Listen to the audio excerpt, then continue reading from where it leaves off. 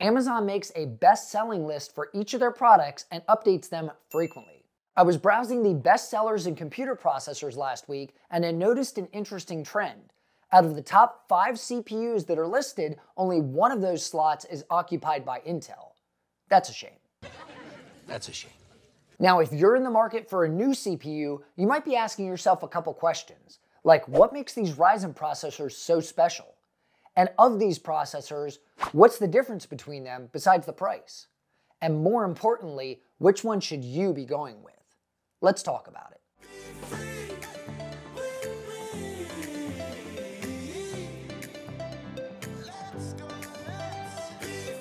Hey YouTube, I'm Danny. Welcome to Danny's Tech Channel.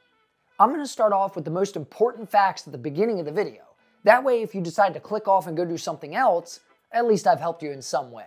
There are a few major differences that you need to know with these best sellers when shopping. I'll start with the obvious. Now, I'm not going to outline the differences between AMD versus Intel. That's a topic for another video. Today is just about the top 5 CPUs on Amazon right now and which one makes sense for most buyers. Intel's i9 13900K is a completely different platform. So if you're going to be buying an Intel-based CPU, buy an Intel-based motherboard. Something like the Asus ROG Strix Z790E gaming Wi-Fi would go great with that CPU. Also, the 13900K is basically Intel's flagship CPU, and it costs almost $600. You've been warned. But if you're balling and you want to pick up that combo, I'll leave it in the description below for you to go take a look at. This leaves the AMD-based processors occupying the rest of the list. Now there is one major difference between the newly released Ryzen 7 7800X 3D and the other three CPUs. The difference is the platform you'll need to support the processor that you buy. The 7800X 3D, like I said, is a brand new processor and it's supported by AMD's AM5 motherboards. This is the 600 series chipset for clarity. Things like the B650 or X670 are what you'll want to look for. The other three CPUs, which are the Ryzen 5 5600X, Ryzen 7 5700X and Ryzen 7 5800X 3D are based on AMD's AM4 platform, which are 500 series. Look for boards like B550 or X570. These motherboards and processors are not interchangeable, so you'll need to get the board that matches the CPU that you want. Once again, I'll have CPU and motherboard pairings down below in the description for you to go check out. They're affiliate links, but they don't cost you anything extra and they help keep the channel going, so I'd appreciate the assist. Lastly, Ryzen 7000 requires DDR5 RAM, while Ryzen 5000 runs on DDR4. So if you go for something like the 5600X in the number one slot right now, you can pair it with some cheap DDR4 RAM and a decent B550 motherboard. DDR5 is more expensive than DDR4, and just another thing to consider when shopping. While looking through the best-selling CPUs on Amazon right now, I realized I own three of the five top CPUs that they have. So I rigged up a test bench to play some games with all three CPUs to see if there's a noticeable difference. I used each of them for various tasks between web browsing, gaming, and just basic things us gamers might do daily. And I thought I'd turn on my camera and share the results with you. If this video is the type of thing you like to see, consider subscribing below because we are frequently making content just like this that's easy to understand and answer some of those questions you may have while building your own PC. Real quick, I want to talk about the test setup that I threw together to run these CPUs. Yes, it was built on the motherboard's cardboard box. It's the cheapest and easiest way to test your parts before building your PC. That's a pro tip. Write that down. This setup was built with standard parts that most people would choose when building a mid-tier gaming PC. For the motherboard, I used the Asus ROG Strix B550F Gaming. It's using version 2806 BIOS revision in case you wanted to know. For the CPU cooler, I went with the Deepcool AK500 Zero Dark. Deepcool claims this can handle 240 watts of heat dissipation. For the RAM, I used 16 gigabytes of G.Skill's Trident Z RGB at 3200 megahertz. 3600 megahertz is what most people are going with these days, but here in the studio I only have 3200, so you get what you got. The all-important graphics card is the Asus ROG Strix RTX 3070.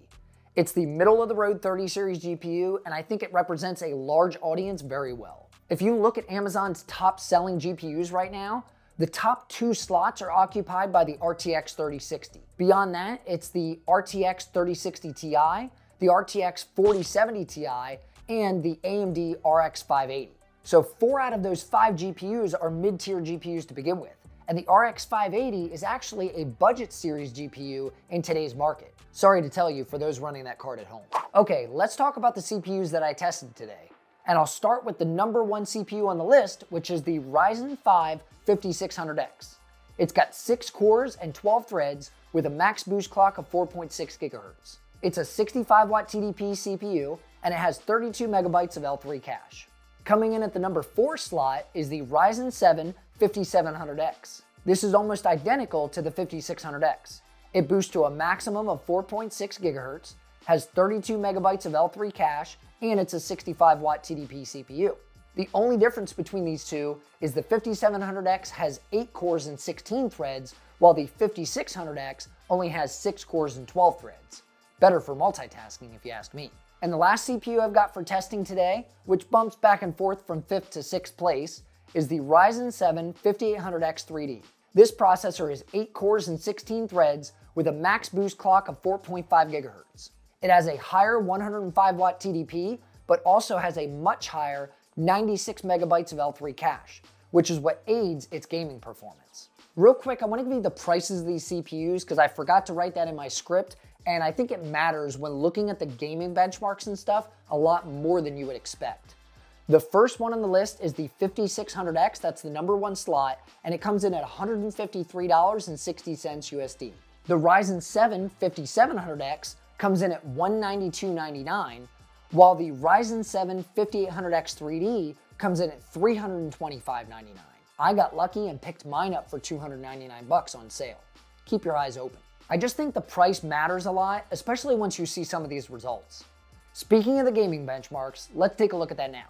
For the game testing, I did three runs of each game, mostly on high settings, with no ray tracing other than one title, and no DLSS enabled either. The first game tested was Apex Legends. This game has been out for quite a long time now, and it's fairly easy to run. I had everything set on their highest preset since all CPUs can push over 200 FPS in this title. That being said, the 5800X 3D did achieve a notable difference to the tune of 236.8 versus the 213.8 and the 212.7 for the 5700X and 5600X. Stepping up to 1440p evens things out at 188.9 with the 5600X matching its performance. The 5700X only hit 168.5 at this resolution. It's always hard to test a battle royale since every match is different, even if you take the same path for each round. To show some consistency, the second game up was Forza Horizon 5. I used the built-in benchmark for this test to make it easier on me to maintain this consistency. High quality presets were used for this title, and that does enable ray tracing set to medium by default. The 1080p results show the 5800X 3D strength again, with 170.3 FPS average, while the 5700X and 5600X hit 153 and 151.1. 1440p results were almost the same across all three CPUs, with about a 3 to 4 FPS difference between each. At this point, we seem to be GPU bottlenecked, and this will be the case on most games at 1440p using this setup. Hogwarts Legacy is a recently released title I've been really into lately, so I thought I'd see if these CPUs made a difference in the game. The 5800X 3D was able to hit 153.4 FPS at 1080p, while the 5700X saw 154, with the 5600X trailing closely at 150.5.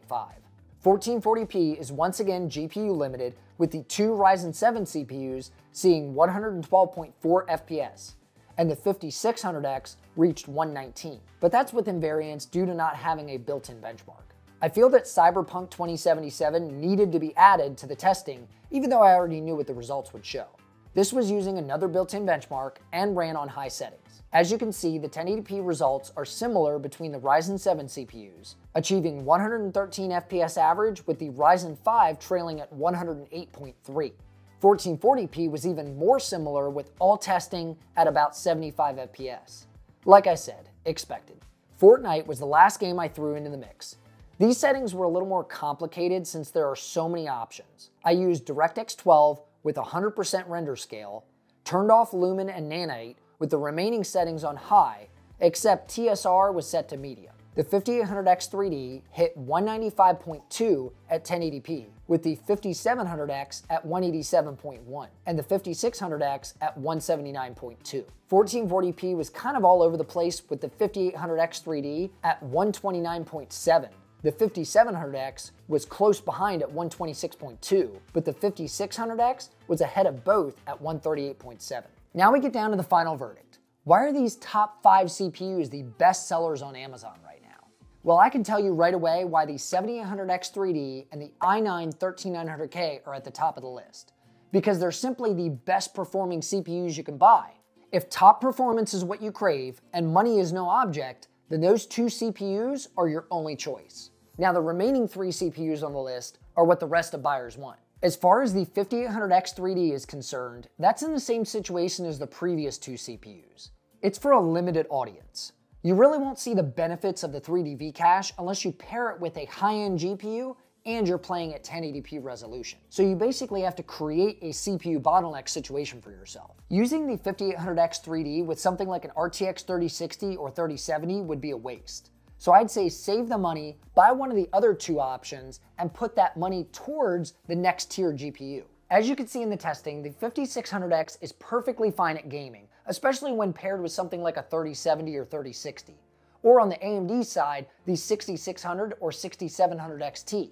You'd be fine buying the 5600X over any of these other options pairing with these GPUs. It nets you the same performance for far less money.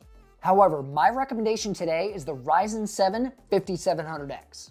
For $40 more, it gives you two more cores and four more threads over the 5600, and still provides solid gaming performance when paired with something like a 3060 or 6700 XT. This is, in my opinion, the best CPU for under $200. And if you pair it with a cheap B550 motherboard and some DDR4 RAM, you've got yourself a solid gaming platform for years to come. And if you want more recommendations on the best PC parts to buy for your next build, check out these videos next because I'm willing to bet they'll help you out as well. And as I always say, I'm Danny with Danny's Tech Channel, and I'll see you in the next video.